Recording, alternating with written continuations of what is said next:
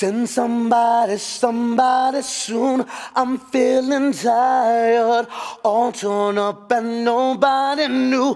I'm thinking someone needs to pray. Forgive me for the wrong I've done. Great.